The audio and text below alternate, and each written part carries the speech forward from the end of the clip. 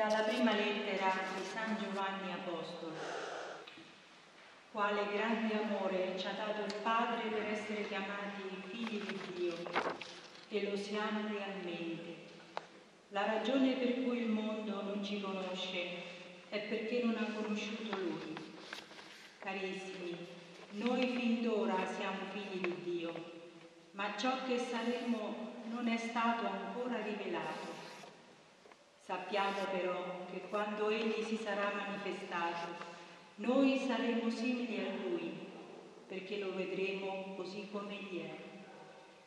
Chiunque ha questa speranza in Lui purifica se stesso come Egli è puro. Chiunque commette il peccato commette anche violazione della legge, perché il peccato è violazione della legge. Voi sapete che Egli è apparso per togliere i peccati e che in Lui non v'è peccato. Chiunque rimane in Lui non pecca, chiunque pecca non lo ha visto né l'ha conosciuto. Figlioli, nessuno vi inganni. Chi pratica la giustizia è giusto come egli è giusto. Chi commette il peccato viene dal diavolo perché il diavolo è peccatore fin dal principio. Ora il figlio di Dio è apparso per distruggere le opere del diavolo. Chiunque è nato da Dio non commette peccato, perché un germe divino dimora in lui e non può peccare perché è nato da Dio. Da questo si distinguono i figli di Dio dai figli del diavolo. Chi non pratica la giustizia non è da Dio, né lo è chi non ama il suo fratello. Poiché questo è il messaggio che avete udito fin da principio, che ci amiamo gli uni gli altri. Non come Caino, che era dal maligno e uccise il suo fratello. E per quale motivo lo uccise? Perché le opere sue erano malvagie, mentre quelle di suo fratello erano giuste.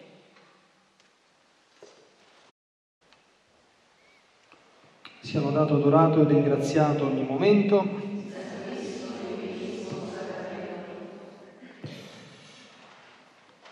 La lettura che abbiamo ascoltato di San Giovanni è bellissima ed è uno splendido canto alla, dire, alla dignità di cui il Signore ci ha rivestito, ci vuole rivestire all'unica condizione che noi lo desideriamo, glielo permettiamo, lo vogliamo. Ci sono alcune, alcuni passaggi, no? è bello meditare questa lettura in maniera un pochino a volo di gabbiano, quindi cogliendo alcuni aspetti, no?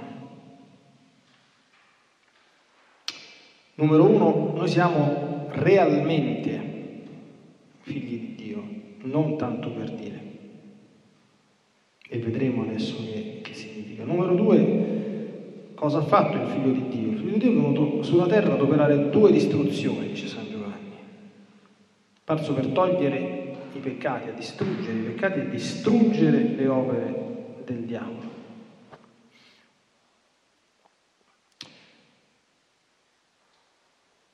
E quindi abbiamo un mondo, questo è un tema tipico dell'Evangelista San Giovanni, anche nel suo Vangelo, nettamente distinto tra i figli di Dio e i figli del diavolo. Non c'è una via di mezzo. Ecco, tra l'altro sembra che gli spiriti del male,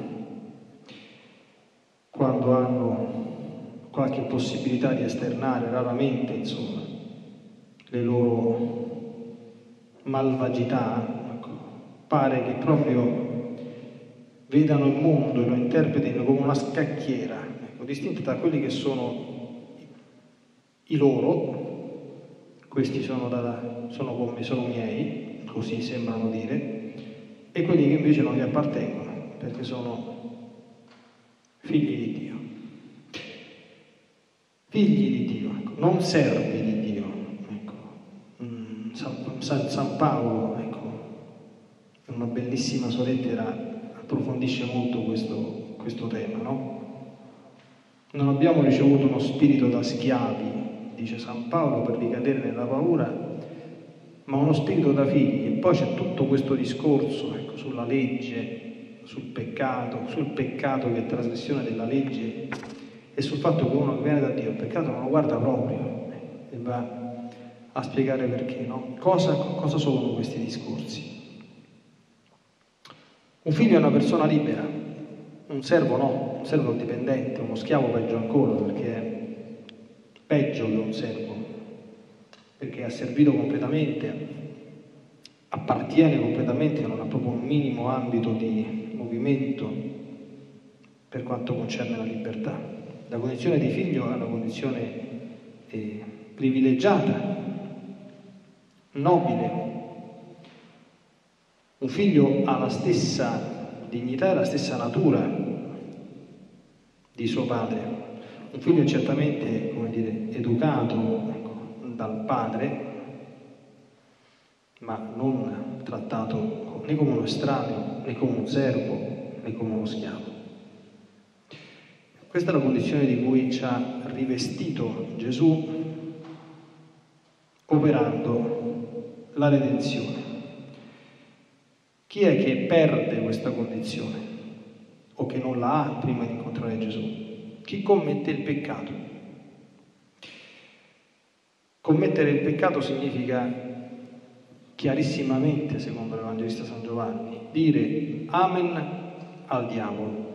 E come poi Gesù spiega nel Vangelo di San Giovanni,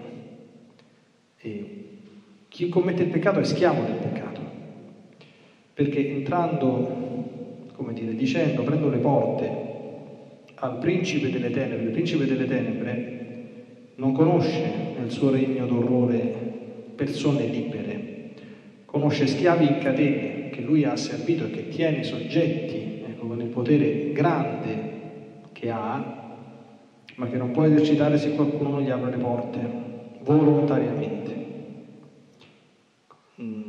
Uno degli aspetti del peccato che dovremmo approfondire molto, anche se l'uomo non se ne rende conto, è che quando si pecca gravemente, veramente, noi perdiamo la libertà. Perché come spiega molto bene San Tommaso, una volta che tu pecchi gravemente, perdi la grazia di Dio, cioè quello che ti rende simile a Lui, quello che ti dà la dignità di suo figlio, quello che ti dà la forza, anche se a volte abbiamo delle difficoltà, di rimanere sempre nel bene e nel vero, anche se c'è da soffrire un po', persa quella cosa, noi purtroppo cadiamo incatenati nelle mani del nemico. È chiaro che l'uomo non perde completamente mai la propria libertà, ma di fatto, non avendo l'aiuto e il sostegno della grazia santificante, come spiega benissimo San Tommaso d'Aquino, se Dio non gli dà una mano ad uscire fuori dalla sua situazione, da quella situazione l'uomo da solo fuori non ci uscirà mai, perché si è messo nelle mani di chi è più forte di lui. Noi non possiamo e non dobbiamo ecco, sottovalutare la presenza e l'azione degli spiriti malvagi, anche se non dobbiamo temerli, nella misura però in cui rimaniamo nell'amicizia con Gesù. Si esce ecco, da questo stato di, di amicizia col, col peccato. Ecco perché San Giovanni dice, chi rimane in lui non pecca, non pecca. Come non pecca? Qui chiaramente San Giovanni fa riferimento al peccato in senso stretto, no? Ricordiamo un po' il catechismo, il peccato in senso stretto è quello volontario, non le nostre debolezze, le innumerevoli imperfezioni che commettiamo ogni giorno a causa della nostra miseria, della nostra debolezza, no? Quindi il peccato è peccato in senso stretto, insegna la Chiesa, quando è volontario, cioè quando una persona sapendo che non dovrebbe fare una cosa, e la fa volontariamente, piccola o grande che sia. Una persona che è amica di Gesù non guarda troppo per sé, se sa che una cosa è peccato, certo sapere se una cosa è peccato grave o peccato lieve è comunque importante perché c'è un abisso tra il peccato grave e il peccato lieve, no? Però chi commette con leggerezza i peccati lievi con la scusa che sono lievi, dimostra di conoscere ancora molto poco Gesù e di aver capito molto poco il suo messaggio. Cioè, uscendo dalla, dalla metafora del peccato mortale e veniale. Cioè, è chiaro che se io so che se prendo una pistola e sparo in testa a una persona e quello muore, certamente questo non lo faccio, no? Eh, però se ho capito bene qual è il senso della dignità di una persona, oltre a non sparargli sulla testa perché l'ammazzo, ma non gli do manco una coltellata, anche se con una coltellata non l'ho ammazzato, lo ferisco soltanto ma poi non solo non gli do manco la coltellata, non lo insulto nemmeno perché rispetto la sua dignità di persona, non parlo male di lui perché rispetto il suo onore, eccetera, no? Cosa c'è dietro questa metafora? Se io ho conosciuto bene il messaggio di Gesù e ho capito che dal peccato viene solo che male, sempre, non importa sapere se una cosa è grave o lieve, ma quelle cose non si fanno. È lo stesso esempio di prima, cioè non è che se io non sparo in testa a una persona, ma semplicemente gli dico una parolaccia, ho rispettato la sua dignità. Certamente è più grave sparargli in testa, è chiaro, no? Ecco, però questo è.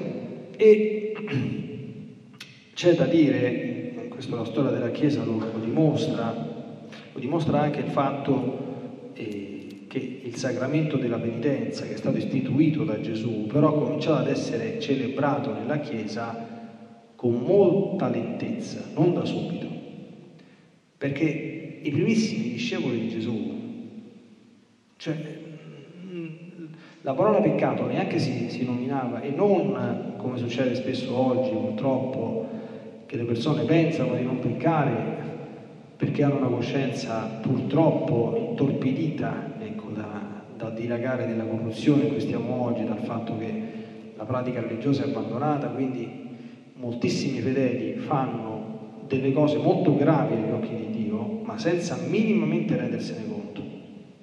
Quindi quando dicono io non faccio peccati, loro ci credono pure, ma non è che non li fanno, non sanno di farli, perché appena vengono un pochino istruiti in questa esperienza universale, gli sandrizzano tutti quanti i capelli, perché, scoprono di averne fatti tantissimi, altro che nemmeno uno. Ecco, invece nei primi tempi della comunità cristiana sapevano molto bene quali erano i peccati e non li facevano. E non li facevano perché? Perché avevano questa eh, vita dentro di loro. Cioè, io ho la dignità di figlio di Dio, Gesù è morto in croce per togliermi dai peccati, per darmi una condizione di vita libera, per non farmi stare sotto le grinfie del diavolo, per farmi vivere una vita serena nella sua amicizia e io sono così matto che mi vado a rimettere in mezzo a mare di guai. Ma non esiste. E qui cosa dice San Giovanni? Chiunque pecca non lo ha visto, attenzione non con gli occhi del corpo, perché non, non serve vedere Gesù con gli occhi del corpo, ma non lo ha visto né conosciuto, cioè una persona che commette il peccato, sia quelli che lo fanno per ignoranza, ripeto, quindi non rendendosi conto di quello che fanno, peggio ancora quelli che lo fanno ad occhi aperti, quindi sanno di fare male e lo fanno lo stesso, il problema di fondo non è tanto quello che fanno, è che ancora non conoscono minimamente chi è Gesù, come è il suo amore, cosa ci ha insegnato, cosa ci ha profondamente rivelato. Ecco perché questo tutti i pontefici c'è un arco no, che parte molto da lontano, io quelli che ricordo bene sono quelli che hanno caratterizzato un po' la mia vita cosciente, no? Giovanni Paolo II, aprite, anzi spalancate le porte a Cristo, stesso Benedetto XVI con il suo amore per la liturgia, per la santità e per la centralità che da teologo che sempre affermava del ruolo di Cristo.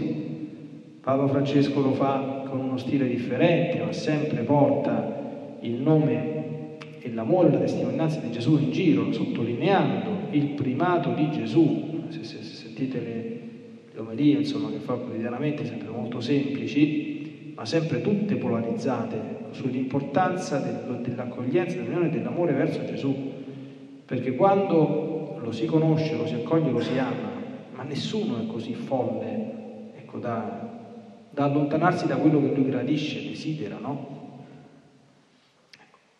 Il vertice della santità, quando una persona comincia veramente a volere santificarsi, è una cosa molto molto semplice. Basterebbe chiedersi, in questa situazione, Gesù che farebbe? O Maria che farebbe la stessa cosa, tanto Gesù e Maria sono molto simili, per non dire identici, nel modo di fare e di, di pensare, no? Approverebbe questo pensiero che sto facendo, questa parola che sto dicendo, questa cosa che io tante volte mi trovo a interloquire insomma, con, con, con, le persone, no? Ecco, ricordo in questi giorni c'è stata una persona che era rimasta stupita ecco, quando la, le ricordavo, guarda che la, le volgarità non hanno niente a che fare con la vita dei figli di Dio. Certamente una volgarità non è una bestemmia, torniamo sempre all'esempio di prima, ma noi immaginiamo la bocca di Gesù e di Maria dire una volgarità potremmo lontanamente concepirla, o, o un amico di Dio, no? Non si dicono le, le volgarità evidenti. Ecco. Poi peccato mortale, peccato veniale, cioè, sì, se uno lo sa pure meglio, ma comunque se sai che è una cosa brutta, che ti sporca la lingua, che ti sporca l'anima, che dà cattivo esempio, che ti fa apparire brutto, come un maleducato, ma è chiaro che non è non la dici se hai acquisito questo brutto vizio, perché purtroppo viviamo in questo brutto mondo, ci cominci a lavorare e vedrai che il Signore ti aiuterà e se veramente te ne vuoi liberare, te ne liberi. Ecco, io, un sacerdote sa per esperienza tante cose, no? Cioè, da qualunque tipo di peccato l'uomo sia invischiato, ecco, sia coinvolto, se ne vuole uscire e invoca il nome di Gesù, a volte ci può volere un pochino di tempo, si tratta di vizi, di brutte abitudini proprio radicali, ma se ne esce definitivamente, per sempre, d'accordo? senza problemi. Perché noi abbiamo un germe divino, dice San Giovanni, che dimora in noi se abbiamo accolto Gesù. E quel germe divino è incompatibile col peccato, non ce lo fa fare. è possibile. Ecco, però bisogna vedere il nostro cuore, ecco, da che parte si trova. Allora, è chiaro che nessuno, nessun essere umano, se tu gli vai a chiedere, ma senti un po', ma tu sei figlio di Dio o sei figlio del diavolo? Quello risponde subito, io sono figlio di Dio. Nessuno dirà di se stesso che è figlio del diavolo, però quello che dice San Giovanni, eh, aspetta perché se, se, tu non vai a messa la domenica, tanto figlio di Dio non ci sei, capite? Capiamo in che senso, no? In quanto battezzati abbiamo acquisito la dignità di figlio di Dio, ma quando uno pecca gravemente, perde la grazia santificante, perde la somiglianza con Dio e perde la sua amicizia. Capito? Quindi, dice, e che succede? Eh, succede che hai acquisito un'altra amicizia anche se tu non ne hai voglia, d'accordo? Nessuno, nessun uomo a meno che non si tratti di, di, quei pazzi che fanno i satanisti, che sono completamente fuori di testa, ma nessun uomo è così stolto da andare a invocare l'amicizia del diavolo, ecco, volontariamente. Però bisogna sapere che quando noi ci allontaniamo di fatto dall'amicizia di Dio, anche se non è questa la nostra intenzione, di fatto però entriamo in un'altra amicizia, purtroppo, perché non stare in grazia di Dio eh, significa essere amico del diavolo, non c'è niente da fare. E questo comporta tutti quanti i guai, cioè una persona illuminata, una persona di fede sa benissimo che tutti i problemi della vita vengono da una sola matrice, non ce ne sono altri, che è il peccato, o quelli che ho fatto io, o quelli che sono stati fatti dagli altri intorno a me, non ci sono altri tipi di, di, problemi. Se non ci fosse il peccato, il mondo sarebbe un altro mondo e anche tante cose brutte, comprese le malattie, i cataclismi, le catastrofi, tutto quello che vediamo, non esisterebbe se questa brutta cosa non ci fosse. Questo è importante che lo interiorizziamo. Come faremo a stare lontani dal peccato? Ah, questo è facilissimo, tanto più quanto più diventeremo amici di Gesù e lo conosceremo meglio.